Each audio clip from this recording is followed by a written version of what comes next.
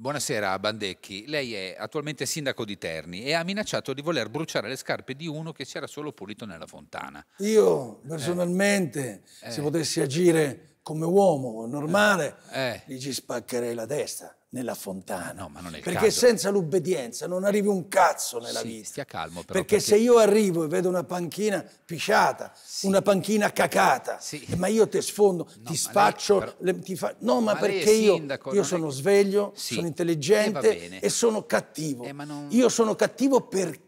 Perché Perché essere? io voglio arrivare a Roma Infatti a fare il presidente del Ecco, consiglio però si e mi devono così- votare, ma Eh, se però- Eh. quelli che mi votano mi fanno una panchina pisciata, Sì. una panchina cacata, Sì, io non li voglio i loro voti. No. Io guadagno 4 milioni Sì, all'anno. e va bene, Sai buon- quanto pago di tasse? 2 milioni. Vabbè, bravo, bravo, però... Beh, allora non mi devi cagare il cazzo No, finanza come la Gestapo. No. Perché se io vedo la panchina pisciata e cacata, facendo- allora io ti dico spacco la testa a quella della panchina pisciata e cacata. Ma non voglio Eh. dire tutto nel promo. Ah, perché c'è dell'altro. Sì. Ah, poi... Perché io sono uno zerbino, ma non Sì. mi fate dire tutto nel No, promo. no, no, Qualcosa aspettiamo. teniamocelo per la puntata Per la sulla puntata. panchina pisciata e Certo, cacata. Certo, certo, va bene.